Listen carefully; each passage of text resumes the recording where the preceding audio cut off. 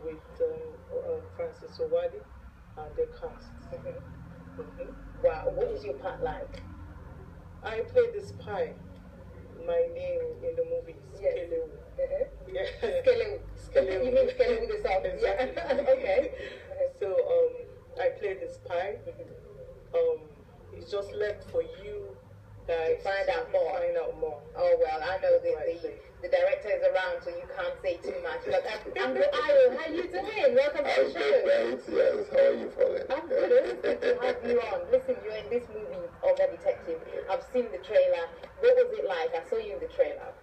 I was dragged kicking and screaming to this movie. Right. And I was stretched. Um, but I'm not going to say any more than that. You, you may have seen You a did, you few. did more than expected. yeah, I think so. I think so. I saw the trailer. I was like, are you sure that's Uncle? You know, that's somebody else. yeah, so um, yes, um, you know, Francis is a good director. He decided to um, take me um, in another direction because I'm just, you know, laid back and you know, I don't really like being out front too much. But yes, um, come on the first of August um, to Broadway Theatre, Barking.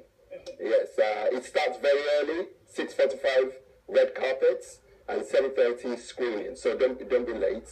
Exactly. Uh,